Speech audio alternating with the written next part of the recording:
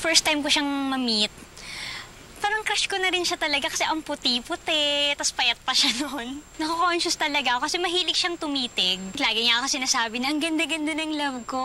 Napansin niya eh. With Dove, laging moisturize yung skin ko, hindi nagda-dry. Very romantic siya eh. As in, nakaakbay. He makes me feel loved. He makes me feel special. Tignan pa lang niya ako, feeling mo parang ganda nito ah. From Unilever.